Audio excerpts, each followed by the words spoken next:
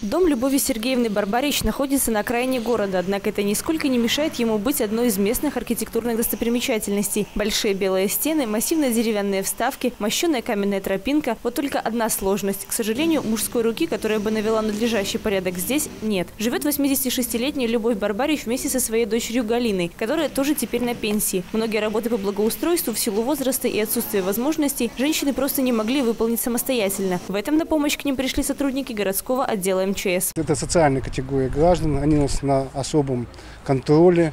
Мы проводим регулярно э, посещение таких домовладений, рассказываем, показываем, смотрим э, работу э, автономных пожарных извещателей, если у них установлены, если не установлены, устанавливаем эти извещатели, смотрим печное отопление, если, если оно есть, если есть какие-то проблемы, в том числе и житейского характера, конечно, мы информируем заинтерес, заинтересованных для оказания им помощи. Вместе со спасателями помочь двум женщинам приехали и волонтеры-школьники. Ребята активно включились в работу по благоустройству. Для некоторых бывает, что они вот, ну, как бы специально уходят с уроков, чтобы просто прогуляться. Вот. А для меня вот как бы добро это, ну, самое главное в жизни. Помочь там, например, даже помыть ту посуду, погрябать те листья.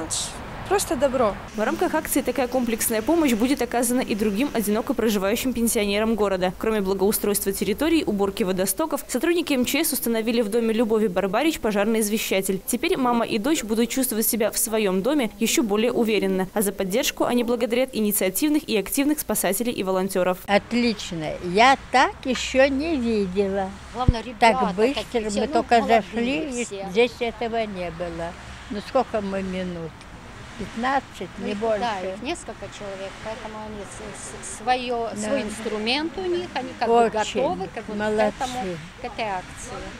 Очень Спасибо вам. хорошо. Анастасия Ноздрин, Плотницкая, Андрей Щербан, Луговкин, телекомпания «Бук ТВ».